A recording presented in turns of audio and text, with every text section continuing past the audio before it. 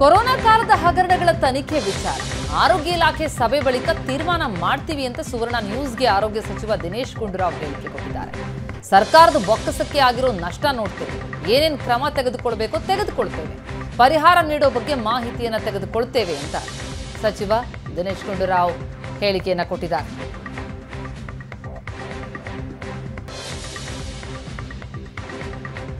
CM ಸಿದ್ದರಾಮಯ್ಯನವರ ಸಂಪುಟದಲ್ಲಿ ಆರೋಗ್ಯ ಮತ್ತು ಕುಟುಂಬ ಕಲ್ಯಾಣ ಇಲಾಖೆಯ ಸಚಿವರಾಗಿರುವಂತಹ ದಿನೇಶ್ ಗುಂಡೂರಾವ್ ನಮ್ಮ ಜೊತೆಗಿದ್ದಾರೆ.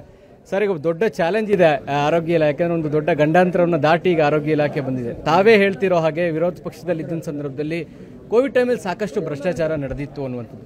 ಸೊ ಈಗ ತಾವು ಇಲಾಖೆ ಜವಾಬ್ದಾರಿ ವಹಿಸ್ಕೊಂಡಿದ್ದಾರೆ? ಏನು ಮುಂದೆ ತಮಗಿರುವಂಥ ಸವಾಲುಗಳು? ಇಲ್ಲ, ಇನ್ನೂ ನಮ್ಮ ಇಲಾಖೆಯ ಅಧಿಕಾರಿಗಳ ಜೊತೆ ಸಭೆಯನ್ನು ನಡೆಸಬೇಕಾಗಿದೆ. ನಾಳೆ ನಾಳೆ ಸಭೆಯನ್ನು ಇಟ್ಕೊಂಡಿದ್ದೀನಿ.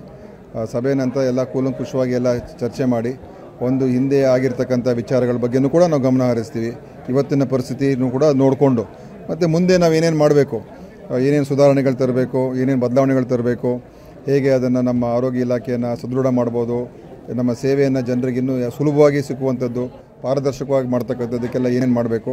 ಅದನ್ನೆಲ್ಲ ಒಂದು ಸಮಗ್ರವಾಗಿ ನಮ್ಮ ಇಲಾಖೆ ಜೊತೆ ಮುಂದಿನ ದಿವಸಗಳು ಚರ್ಚೆ ಮಾಡಿ ತೀರ್ಮಾನಗಳು ಮಾಡ್ತೀವಿ. ಸಿದ್ದರಾಮಯ್ಯವರು ಕೂಡ ಹೇಳ್ತಾ ಇದ್ರು ನಾವು ಬಂದರೆ ಕೋವಿಡ್ ಕಾಲದಲ್ಲಿ ಆಗಿರುವಂಥ ಎಲ್ಲ ಹಗರಣಗಳನ್ನು ತನಿಖೆಗೆ ಒಳಪಡಿಸ್ತೀವಿ ಅಂತ.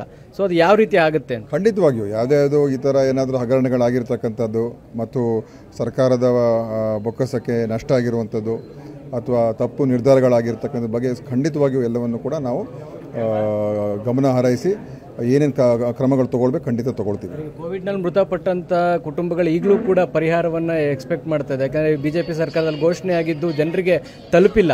ಸೊ ಆ ಬಗ್ಗೆ ಏನು ನಿಲುವು ತಗೊಂಡು ಎಲ್ಲನೂ ನೋಡಿ ಪರಿಸ್ಥಿತಿ ಏನಿದೆ ಅಂತ ತಿಳ್ಕೊಂಡು ತದನಂತರ ಇದರ ಬಗ್ಗೆ ಎಲ್ಲ ನಾನು ಮಾತನಾಡ್ತೀನಿ. ಈಗಲೇ ನಾನು ಮಾತಾಡೋದು ಸರಿ ಇರೋದಿಲ್ಲ.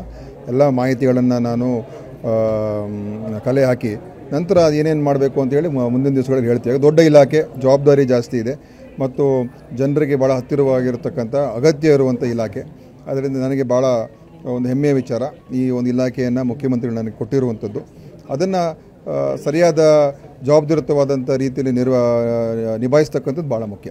ಇದಿಷ್ಟು ದಿನೇಶ್ ಗುಂಡೂರಾವ್ ಅವರ ಮಾತು. ಕ್ಯಾಮರಾಮನ್ ಮುನಿಯಪ್ಪ ಜೊತೆಗೆ Maruthesh Hunasanahalli Asianet Suvarna news, Bengaluru.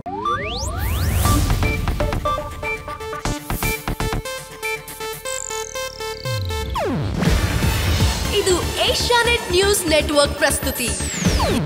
ನೀವು ನೋಡ್ತಿದ್ದೀರಾ ಏಷ್ಯಾನೆಟ್ ಸುವರ್ಣ ನ್ಯೂಸ್.